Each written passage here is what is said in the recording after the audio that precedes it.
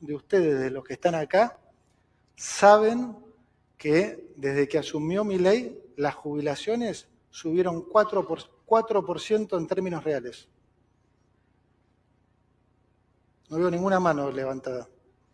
Se lo, se lo vuelvo a decir, desde que asumimos, las jubilaciones subieron 4% en términos reales. En dólares, 100% prácticamente.